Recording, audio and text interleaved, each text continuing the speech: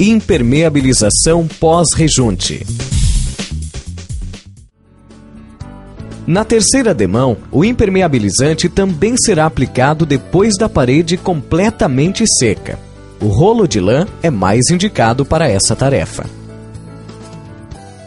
Durante a obra, os tijolos absorvem água das chuvas, mas dentro das normas, a absorção é importante para a aderência da resina, propiciando a hidrorrepelência absoluta.